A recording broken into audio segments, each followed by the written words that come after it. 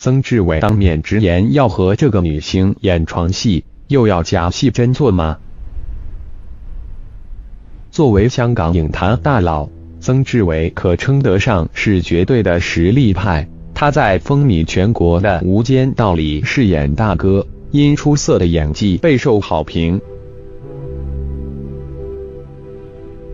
除了演戏外，他也曾多次担任导演，拍摄了众多经典影片。其中，《安乐战场》是最具有争议的一部。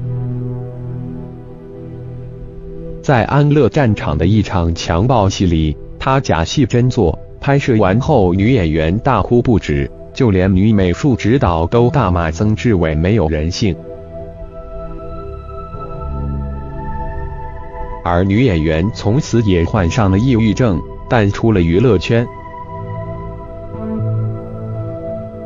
近日。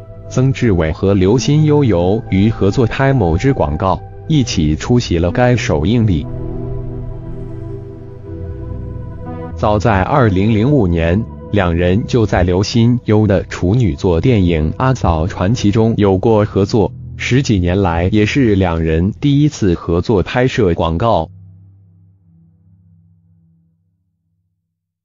曾志伟在现场夸赞刘心悠。说她以前是少女，现在一样是少女，还是那么乖，那么单纯。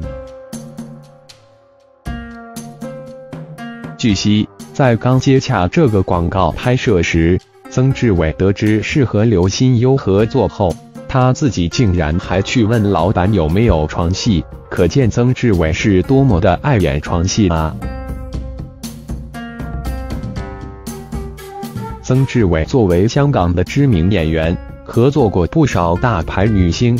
虽然有不少的床戏戏份，但被传出演激情戏经常假戏真做，背后的名声并不好听。刘心悠，一九八一年四月一日出生于中国台湾新北，香港演员、模特。二零零四年拍摄中华航空电视广告。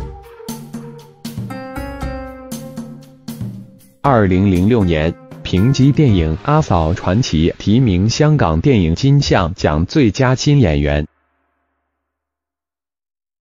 出道以来，拍摄过多部电影、电视剧，特别是在《步步惊心》中。把若兰这位痴情美女演绎的淋漓尽致，一颦一笑都扣人心弦，被称赞为最美古装扮相。